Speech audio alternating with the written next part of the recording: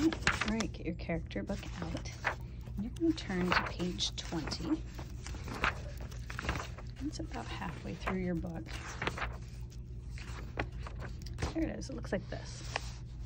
We're not going to do this one because we've already done talked about King Midas. This is all King Midas. We've done it a different way. We're going to read this page. This is page 20. Theseus.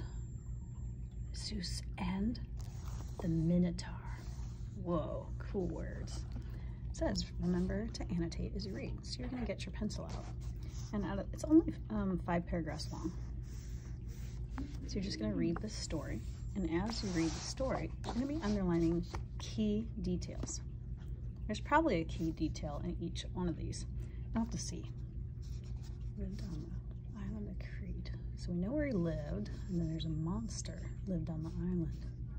The body of a man and the head of a bull heart. Oh, this is so cool. Its eyes glowed.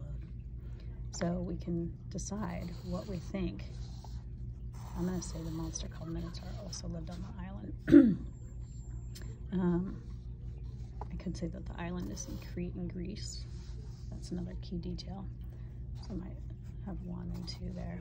So that's how you're going to. You're going to only underline the key details and then write down whether you think what number it is. So the next one will be three, the next one will be four. When you're done, you're going to kind of summarize your key details right here where it says notes. This is where I want you to write your summary.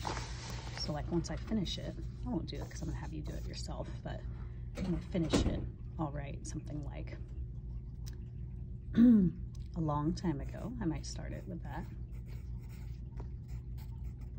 You can decide how you want to start it. You get to summarize it however you want. A long time ago, and I'll say um, King Minos lived on the island. That's our new vocabulary or new spelling word. Remember that? Island. It's actually island. lived on the island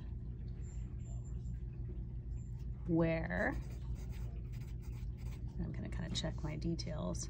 A monster called Minotaur lived.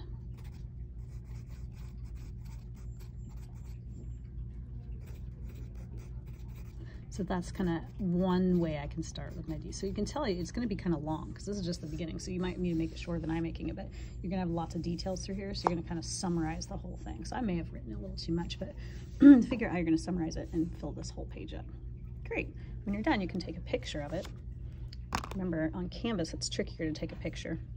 So you'll have to go down to the spot where you can press your webcam and you can either do a video or a picture there. and you can hold it really still and then send it and press the submit button on Canvas. You have to press the submit button in order for it to load so I can see it.